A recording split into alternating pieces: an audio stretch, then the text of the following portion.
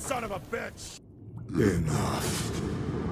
Your line's thirst for all-out war with the humans endangers us all. Peter D'Abano. Without the sheep, The wolves go hungry, yes. But the day is coming when the sheep will outwit the wolves. Haven't you been watching, brother? The humans have harnessed the power of steam and lightning, and they grow mighty. If our hubris allows us to grow fat and lazy in the shadows, they will soon have the power to hunt us down like dogs. and so you propose war. War suggests there is a chance we might lose. I propose we strike. With my new asset, we can control the change. Reclaim the Sanguisuga's rightful place at the top of the food chain. Control the change. Are you mad? Even suggesting such a thing is blasphemy. Dominic, brother, these are blasphemous times. While my methods may very well be at variance with our tradition, I can tell you one thing. If we don't adapt, we will perish. Enough. I will not allow you and your bastard breed to, to lead us into annihilation. Peter D'Abano, for the high crime of conspiracy against your own kind, I sentence you and your line to the true death. I told you, Father. They wouldn't listen. We had to try, Felicity Mikata. Our work will be a lot easier if we can help them understand. If we can't, Then we force them to!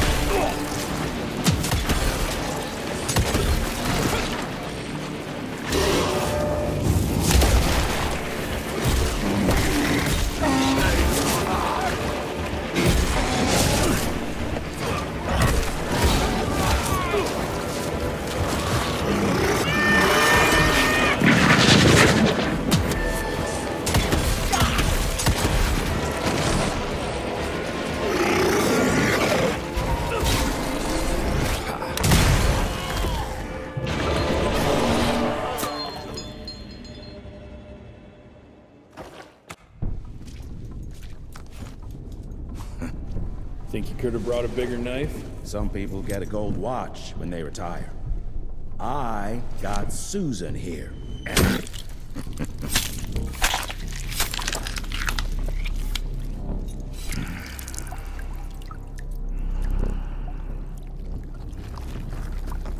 Should have asked him how to get out of here. Too late. He won't be of any use for a month or two. Wait. What about Chester? Well, what are you gonna do? Watch out for the fat boy!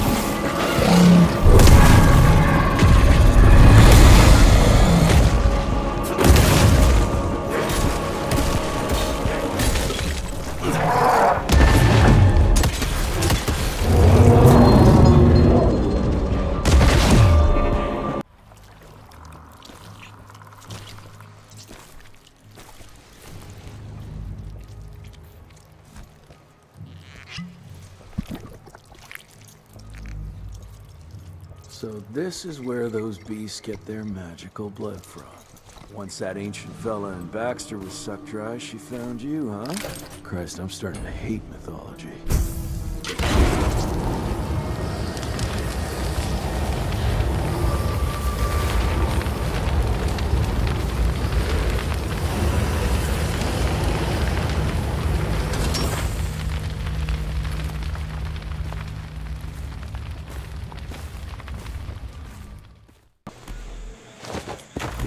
Wrapped up like a mummy in a web. Guess he got away.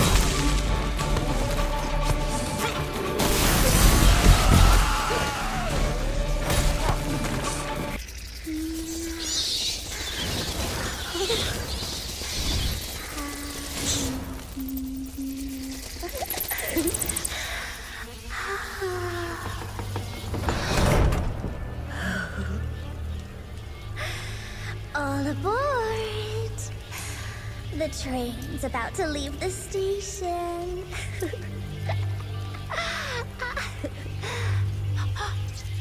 Do you hear them singing? That's humanity's requiem. You can be mankind's last sad note, or you can be part of a new opening chord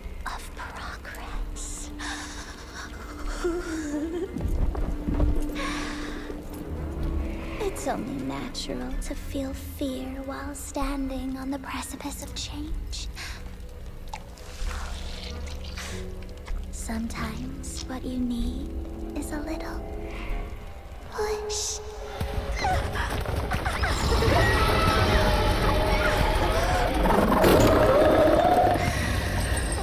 Try not to kill him, my child. That'd break poor William's heart.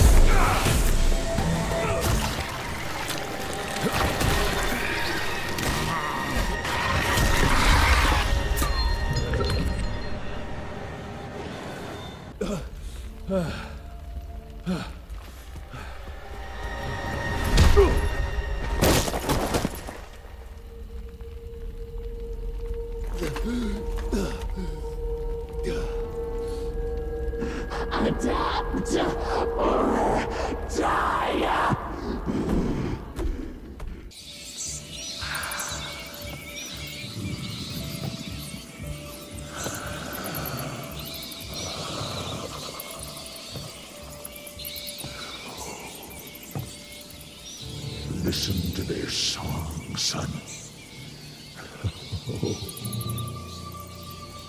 This is the final frontier. Final choice. Forget gauntlets and cheap electrical tricks. All that truly stands between us and godhood is a drop of blood. Is that the same choice you gave to Virgil? Virgil didn't matter. He had no place in the future. Think of what you can achieve with the power we've been handed. You are worth more than any of them. I cannot apologize for progress. You adapt, or you die. I've heard those words before. She's in your head. Enough of your petulance! I am your father! If you will come willingly, I will make you!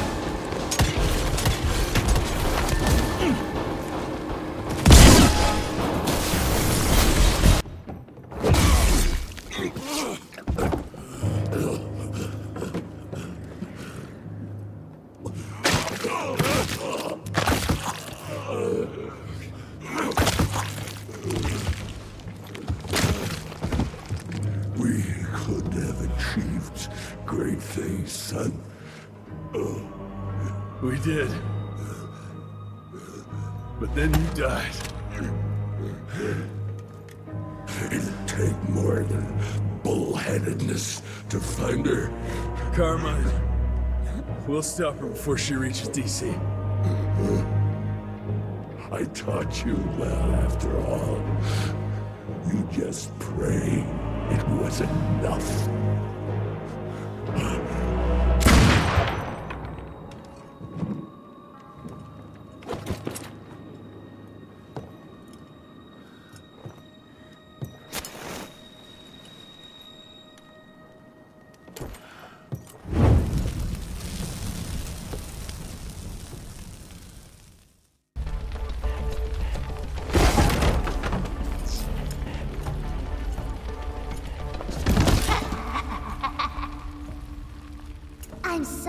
You're here to witness this great change.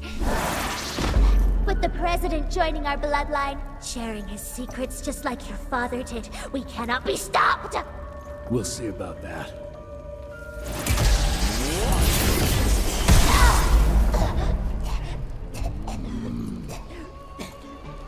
tried to make you understand. In order to build something, you need to demolish its past. Your stupid ambition took everything from me. You turned my father against me and everything he stood for. That was a fate worse than death. I'm here to make sure you won't do the same to anyone else.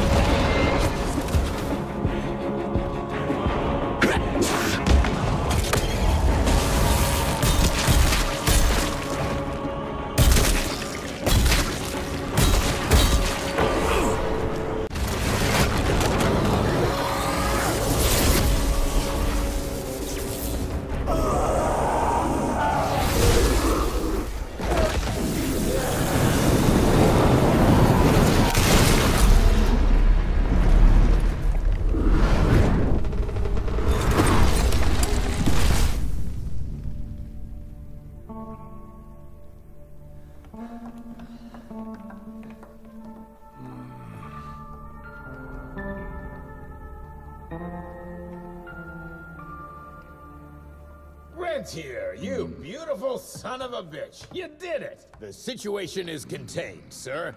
The Institute's resources were finally put to good use. It was just a matter of proper management. We couldn't allow for it to be led like a small-town family business. Or even worse, to be run by a woman.